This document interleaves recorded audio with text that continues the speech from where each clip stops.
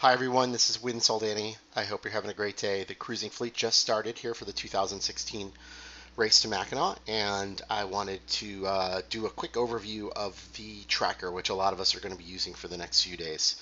Um, you can get to the tracker by going to the Race to Mackinac website, click on race tracking, or, or clearly you can bookmark the, the, URL that it takes you to if that's easier for you.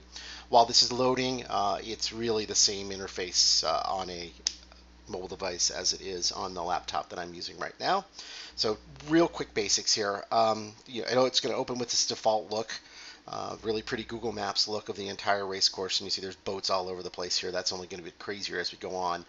So the first thing I like to do is I like to click over on the left-hand side. I hope you can see my mouse uh, on the class filter.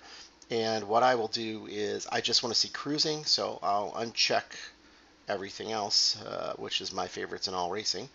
And now I just have the cruising boats. And now what I want to do is zoom in on them. Uh, I can zoom in on them by kind of clicking, letting the screen redraw and dragging. Um, there is a zoom to manual area button where you can click on that button and then sort of draw where you want to zoom to and it'll zoom to it. Um, there's a zoom slider.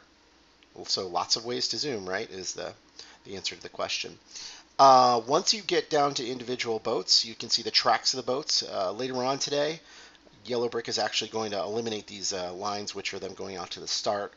Uh, that might be tomorrow, actually. Um, and if you look at the fleet here, you can see uh, the boats that have started are on their way. I'm just going to go ahead and pick a random boat here and mouse over them. If you put your mouse over it, you see that uh, the boat with the little crown means they're in the lead, quote unquote. It's sort of a, an estimate right now for their section. Uh, this is Patriot at Tartan 34. They're going six knots, sailing a course of nine degrees, 9.42. Well, sorry, 9.42 degrees is the number.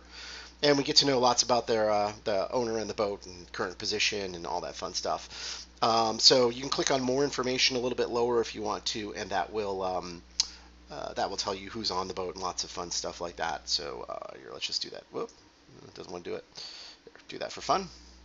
And there we can see everything about the boat, the crew list, and so forth. So it's kind of, it's kind of, if you really want to drill into a boat, you really can, right? Um, so the other thing that we're going to do in the race a lot is this little slider at the bottom allows us to go backwards and forward in the race. So I'm just going to head and zoom out a little bit. So let the screen redraw. And once it redraws, you'll see this slider down here um, allows you to just kind of go backwards and forwards over time.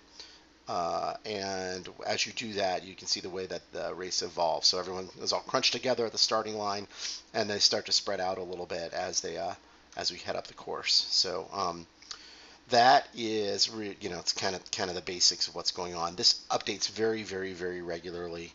Um, if you guys see any problems with it, please post on Facebook. I want to show you one more thing. I'll be using some other tools during the videos I record, but let me just show you one more thing, which is if you want, let's say uh, you want to find um, Endeavor, right? I know they're racing right now. I know I have them uh, because I'm within all cruising. I can just type the first few numbers of the, the first few letters of the name right here, and then I uh, click, uh, click over here and um, I'm sorry, I click on the star right here is what I do, and now that they're part, they're part of my favorites.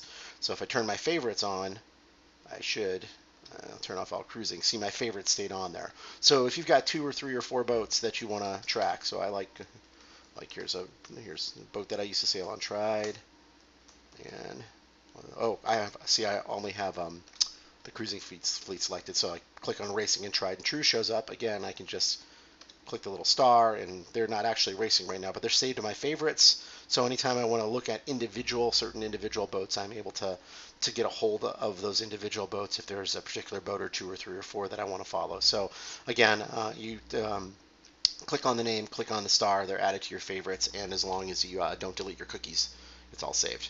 So those are the basics. I hope that was helpful, and um, I will be back shortly. Uh, we should be getting a weather video shortly and uh, more updates via video later today. Hope this was helpful. Thanks.